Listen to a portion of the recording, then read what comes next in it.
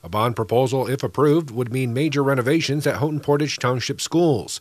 The school district held a community forum Wednesday to outline the $8.69 million project. The project would include upgrades to instructional technology, security improvements and building enhancements, energy conservation measures, and a complete overhaul of the outdoor athletic facilities. The quality of our education is really important to our community, and I feel that's one of the strengths that Houghton has to offer. And having this bond pass means a lot to the future of our students and what we have to offer, and it would be a positive impact as well. The district wants to install a new artificial turf football field and replace the track, plus build a new scoreboard, bleachers, and concession stand. A brand new baseball field would also be built, along with improvements to the existing softball field.